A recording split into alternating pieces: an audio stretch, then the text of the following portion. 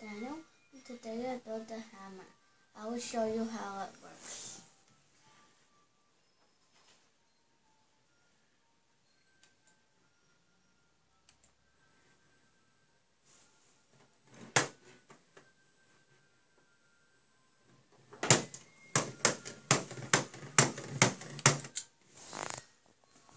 Some, sometimes it falls apart because sometimes it's hard to get it in before it breaks.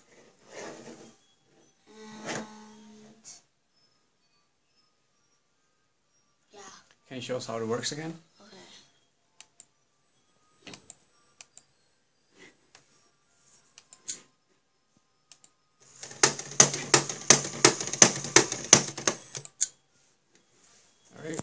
Good job.